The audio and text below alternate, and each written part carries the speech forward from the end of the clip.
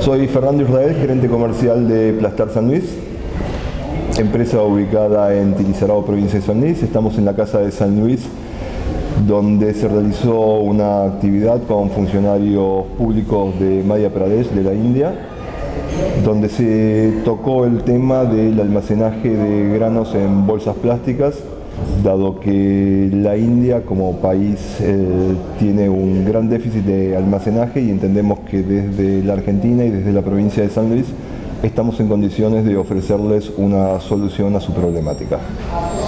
Yo soy Mauricio Escatamaquia, eh, gerente general de Venados Manufactura Plástica, eh, que también hacemos bolsas para silo y bueno, estamos acá acompañando el desarrollo de, las bolsas para silo en el mercado de la India.